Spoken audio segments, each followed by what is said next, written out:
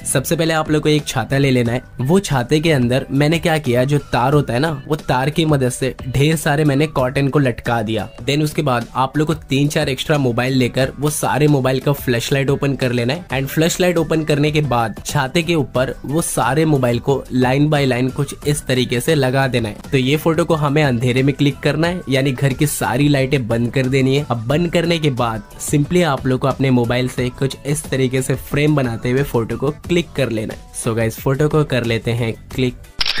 Photo click करने के बाद एक गजब का इफ़ेक्ट देखने को मिलेगा आप लोग को अपनी फ़ोटो में।